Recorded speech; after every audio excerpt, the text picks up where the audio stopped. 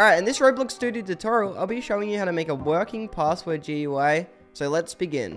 Alright, firstly load into Roblox Studio, go up to View and open Properties in Explorer. Then go over to Starter Script, click the plus and do Screen GUI or search up Screen GUI. Now that you have this, click the plus again, so you're going to add something into it and add a frame.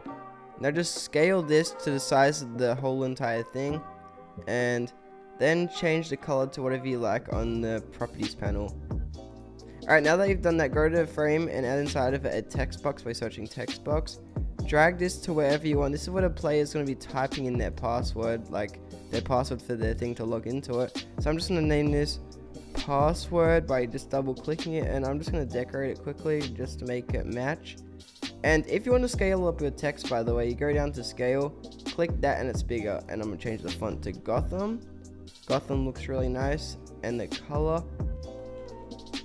Alright, now you want to make your enter button. Go to frame, click the plus and search in text button. Do this and just drag it underneath or wherever you would like. This is going to be enter so to basically verify it. I'm going to just change it to enter and just going to decorate it quickly. So just change this and go scale the text and change the color and alright there we go the font's changed that's looking pretty nice for now but yeah you can decorate it like I said before however you want. I'm just gonna add some dots at the end so it looks like you type it in here. That looks better.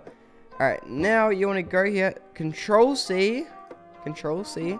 Control V. You just want to copy it drag it under screen GUI and rename this to and rename this to frame 2 and now I want you under frame 2 just to delete these. And now you're gonna have under frame 2 you're gonna add text this is gonna be like your next screen after it so you can decorate this after but I'm gonna say successfully successfully logged in. And I, did not spell that right but it doesn't matter. And background you can to make the background transparent you can go down to transparency type 1 and there you go. And I'm just gonna scale this and change the font once again okay we're, we're good now. And you can just by dragging you can make it bigger. And I'm gonna make this white as well. So yeah now if you want to hide this for you can go back and edit the other stuff. You scroll down to visibility click that and you can see the one after. This sometimes resets for some reason it's weird but just don't click on it and it won't reset. All right now go to your frame one your first frame. Go down to text button and do local script now just delete print hello world. Alright this bit's optional. You can either go to the description copy it or just follow along with me. I recommend you follow along because it's something you have to change for your password. First do script dot parent dot mouse button. One click. So this is on click. It connects to it. Then do connect. And then function.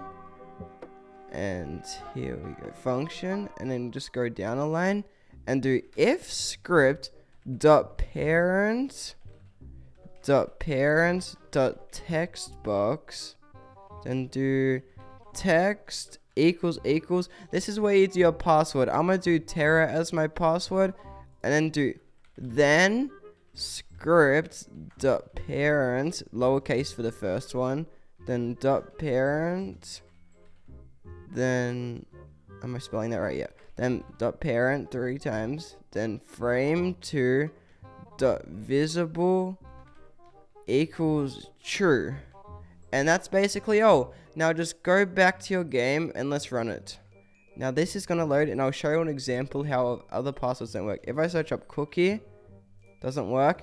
I search up Terra, it works. Successfully logged in. Now you can just change this other screen to a secret menu or something. It's that simple. I hope you enjoyed this tutorial and subscribe for more and see ya.